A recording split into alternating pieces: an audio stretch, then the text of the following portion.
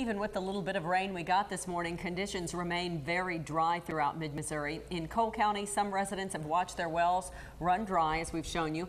That has forced them to spend money to dig separate, deeper wells. I think it's been going on for a little while. I just haven't noticed it yet and until it's gotten to that point where it's so bad.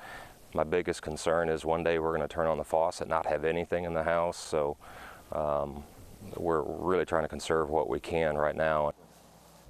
People who drill those wells say the demand for water is on the rise. A lot of these wells were drilled in the 60s, 70s, early 80s. At that time, a lot of these wells were producing the 30 gallon a minute range, 20 to 30 gallon a minute. Seemed like wells that would last forever, but conditions are demanding more water, and we're just having to take them deeper to get, get the supply that everybody needs. The Missouri Department of Natural Resources has released a study that shows the groundwater aquifers in mid-Missouri have declined steadily. You can find a link to that study on our website, connectmidmissouri.com.